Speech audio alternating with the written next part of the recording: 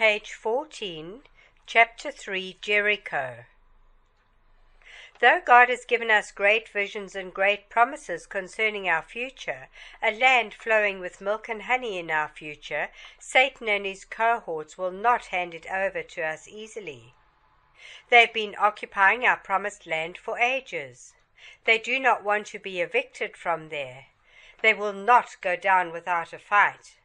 When we call it Jericho, we must expect some resistance and opposition of the enemy. We arm ourselves for spiritual warfare. 3a. Expect spiritual warfare. We do not wrestle against flesh and blood, but against principalities, against powers, against the rulers of the darkness of this world, against spiritual wickedness in high places. Ephesians 6, verse 12. The enemy might come through a human being we are not fighting that person, but the demonic agents in him or her. So we still love the person, but we hate his or her actions and deeds, which are contrary to the Word of God. Since we have established that it is a spiritual warfare, we must not approach it in the flesh, but in the Spirit. God, who is Spirit, knows the spirit realm better than any of us having His Spirit in us and with us, gives us the freedom or liberty to operate in the spirit realm. 2 Corinthians 3, verse 17. Long before we were born, the Lord had defeated Satan and his cohorts, cast them out of heaven. If there is someone who knows how to defeat Satan, it is the Lord of hosts. David, a man of war, knew it. Hence, before going to any battle, he inquired of the Lord of hosts. Even if he had defeated that adversary in the past, he still inquired of the Lord. 1 Samuel 23, verse 2. 3b. God's battle plans can be foolishness to a carnal mind. Jericho means fragrant or sweet smell. In Joshua 6, when they asked for divine instructions concerning the battle against the city, God told them to march around it for seven days, once every day, and on the seventh day seven times, and then blow the horns and shout for victory. For the Lord has given them the city and the mighty men in it. To win the Lord's battle, we need to follow his instructions. Whatever he tells us to do, we do it. It may sound stupid or foolish, but He knows better. The battle is not ours, but the Lord's. Joshua could recall the instruction that God gave to Moses before the Red Sea Stand still and see the salvation that I, the Lord, will perform on your behalf. Exodus 14, verse 13. It sounded stupid at that time, but Moses obeyed. The Egyptians were coming after them to kill them, but they stood still, and the Lord fought for them. Here God is asking them to praise Him, but it is more of worship than praise. Everything that has breath praises the Lord. Psalm 150, verse 6. Even the rivers clap their hands. Psalm 98, verse 8. We praise or give thanks to God when He has been good to us for what He does for us. All the creation of God gives Him thanks for creating them. If mankind does not want to praise Him or give Him thanks for what He has done, even the stones will cry out in praise to Him. Luke 19, verse 40. We give Him thanks when He has provided for us and delivered us, and so on. 3c. Worship God for who He is.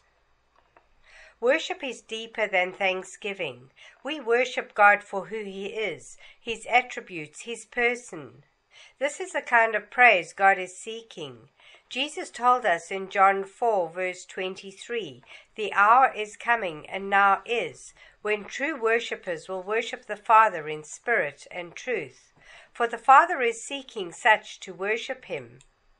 Many times we approach God with our lips and sacrifices, but our heart is far from God. Matthew 15, verse 8, Isaiah 29, verse 13. God wants us to know who He is, for if we know the God whom we serve, we have the truth, and the truth will make us free. John 8, verse 32. Many times we have no reason to worship God, to thank Him, to sing, for when we look around us, we are in a deep mess and trouble. In the physical, we have no reason to be singing or praising God or thanking Him. That is why we need to step into another realm. We step into the spiritual realm and worship God. We know the truth about our God. We know who He is. For the things we see are temporal or subject to change, but the things we do not see, they are the ones which will be established. 2 Corinthians 4, verse 18. We are calling the things we do not see or do not exist in the physical as though they did. Romans 4, verse 17. By so doing, we exalt God above our predicament and mess. We elevate Him far above those walls of Jericho, the walls of our lives. The walls the enemy has built up to confine our progress, to prevent us from conquering what is rightfully ours. All these walls will fall down flat our God is higher than any wall or fortress man can ever build up.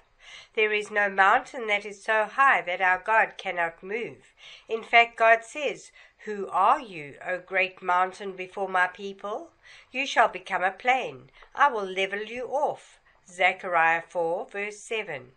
There is no mountain in our life so high that God cannot level it off, like He caused the walls of Jericho to fall down flat. 3d. Learn from the saints of old.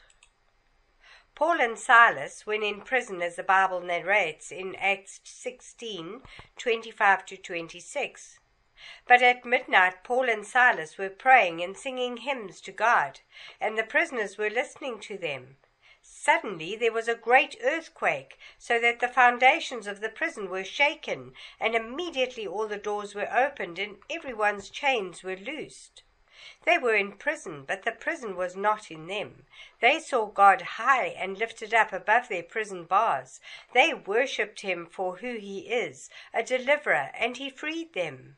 Not only God freed them, but also all the other prisoners. Father Abraham worshipped God too when he went to offer up Isaac as a sacrifice to the Lord. Genesis 22, verse 5. And Abraham said to his young men, Stay here with the donkey. The lad and I will go yonder and worship, and we will come back to you. He believed in his heart that after he had obeyed God and offered up Isaac, God was able to raise him even from the dead.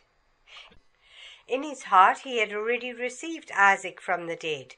He saw God high and lifted up above death. He knew the truth about his God, that he is the resurrection and the life. In the eyes of God, Abraham met the criteria of the true worshipper. He was in the Spirit because he was not moved by his senses, and he knew the truth about God. After all, has Jesus not said, He was the resurrection and the life in John 11? Worship elevates God above our situations. We deem God able to deliver us, to bring back to life everything that ever died in our life. God is bigger than our problems. 3e. Rejoice in the Lord. Joseph, even in the prison of Pharaoh, was still smiling and encouraging other prisoners, interpreting their dreams, edifying and building other prisoners up. Genesis 40. He was in prison, but prison was not in him. There is a place in God where we no longer walk in the flesh, but in the Spirit. Even when we are low and in the bottom of a pit or dungeon, we are still rejoicing and higher than other folk. Paul, being a prisoner in Rome under house arrest, was the one edifying those who were outside, telling him in Philippians 4, verse 4, Rejoice in the Lord always, and again I say, Rejoice. The walls are still standing, the mountain is still before us, and we are still in Pharaoh's or Roman's prison or under house arrest, but we are worshipping God. We know our God is more than able to deliver us. In fact, He will deliver us. Our dreams will come to pass. God is not a man that He should lie to us. We can rest assured that victory is ours. We have already overcome all our adversaries and foes before even the battle starts, for greater is he that is in us than he that is in the world. 1 John 4, verse 4. 3f. Fear not, the Lord is with you. The Lord has assigned more angelic hosts to help us than demonic hosts which are with our enemies. We outnumber them. There is no need to fear. 2 Kings 6, verse 16. If only we trust God, He will not just fight this battle of Jericho for us, but He'll fight the entire war to conquer our promised land. 1 Chronicles 5, verse 22. Oh, how great is our God, Yahweh, the man of war. Exodus 15, verse 3. He will give us the victory and always lead us in triumph in Christ, and then through us diffuse the fragrance of his knowledge in every place. 1 Corinthians 15, verse 57, and 2 Corinthians 2, verse 14. 3G. The battles we win advertise God. Now we understand why Jericho means fragrant. The Lord, by causing us to triumph over our enemy in battle, is making himself known among the Gentiles as the great God, the only true God. Besides him there is no other. He is diffusing the fragrance of his knowledge in every place. When nations ask, Whom do Israel serve? they will answer, The Lord, the man of war. For no other God of the Gentiles has been able to destroy the walls of Jericho. God is advertising himself through our victories and triumphs. When they ask who the God of Joseph is, that causes a man to come out of a prison and become overnight the prime minister of the most powerful kingdom on earth. They will answer Yahweh, the God who causes dreams to come to pass. Men may call you a dreamer like they did Joseph, but the God whom we serve will bring it to pass. The victories and the triumphs we have in our lives, they are not about us. They are to diffuse the fragrance of our God, because once Jericho was conquered, the message was sent to all the other nations in the land of Canaan. A people whose God parted the Red Sea, parted the Jordan, and now has caused the unconquerable walls in the city of Jericho to fall are coming. The sweet smell or fragrance of the victory over the city of Jericho became a strong smell or fragrance in the nostrils of our enemies round about. Their hearts were melting within them. They said to one another, If Jericho has fallen, what about our walls and city walls? They are not as secure as Jericho was. All our enemies will be our footstool. We will crush them under our foot, and the land belongs to us. Psalm 110, verse 1. 3h. Our enemy has been poking God in the eye. He that touches us touches the apple of God's eye, or the pupil of God. Zechariah 2 verse 8. Our God is overprotective when it comes to his people. As a hen hides her chicks under the shadow of her wings, so does our God do likewise. He keeps us as the apple of his eye or his pupil. He does not want anybody to come and poke him in the eye. Psalm 17, verse 8. He that comes against us, taunts us, or defies us, is coming against the Lord and taunting or defying the Lord. 1 Samuel 17, verse 26. It is a fearful thing to fall into the hands of our living God. Our enemies are in deep trouble. Hebrews 10, verse 31. He told them, Touch not my anointed, and do my prophets no harm. But they ignored that warning. Psalm 105, verse 15. By so doing, they have been poking God in the pupil. God will deal with all our enemies. Pharaoh said, Who is the Lord that I should obey his voice to let his people go? Exodus 5, verse 2. He thought he was defying us. What a fool! He was defying God, and by enslaving us, he was touching God's anointed ones and harming them thus poking God in the eye.